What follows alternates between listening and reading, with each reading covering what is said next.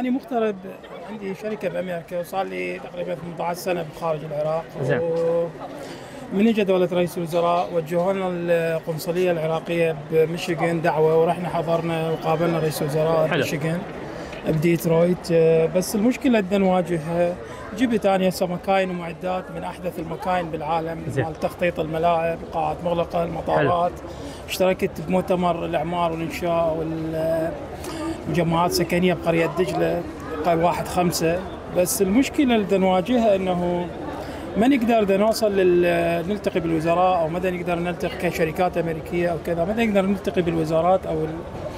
يعني ماكو بوابة. الروتين الروتين بالضبط ماكو بوابات. تساعدكم تساعد إحنا يعني دعوة رئيس الوزراء قال إنه ساعدونا زين. آه، جيبوا الشركات جيبوا المنتجات جيبوا نزلت. الميدان لو بعدك ما نزلت الميدان بس التقيت بهواية ردت أوصل ألتقي بالكذا جبت عروض طوني discount يعني تخفيضات تقريبا بال 50% لل- للتصدير شركتك مسجلة امريكيا؟ أمريكية طبعا. وبالعراق؟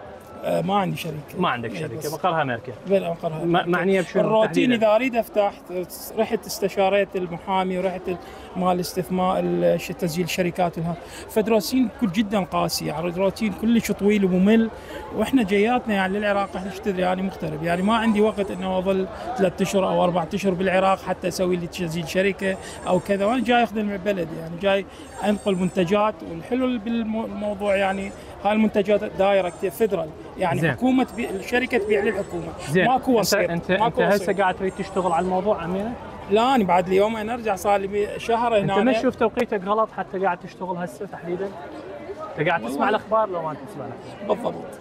هو هذا ال- الفكرة أنت جايب. المعدات من أمريكا لا هي والناس قاعد على التكنولوجيا. المطاعم قاعد لا, لا هاي بعض تكنولوجيا المجاميع الخارج عن القانون هاي تكنولوجيا تفيد البلد يعني. تكنولوجيا أحدث ما موجود بالعالم اي بس هسه راح يتهموك بالتطبيع وراح يقولون عليك لا لا لا هاي ما لها. علاقة هاي هاي تكنولوجيا العراق بحاجتها يعني البلد مالتنا بحاجتها أها. توفر وقت توفر جهد آه، كلها تشتغل على ال battery يعني أوقات عالية آه، زين سؤال بس خلينا نوضح هسه أنت. اليوم جبت معداتك وعملك وخبرتك من أمريكا. لبغداد وعموم محافظات العراق أنت راح تنفع شبابنا طبعا لو راح لي الامريكان طبعا لا لا هاي انت تشغل الايدي العاملة بالعراق ما تفيدني أنا أجيب عامل أمريكي يشتغل هنا.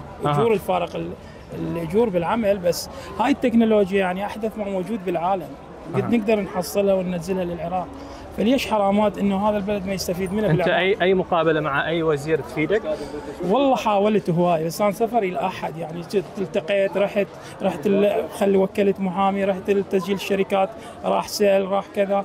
الروتين جدا قاسي بالعراق يعني. ما يساعد إنه أي شركة تجي من برا تريد تقدم أو تريد تشتغل بالعراق صعبه يعني كل الصعب هذا بدنا نواجهه حرامات يعني إنه إحنا راح نسميك مستثمر عراقي تمام؟ يعاني من الإهمال.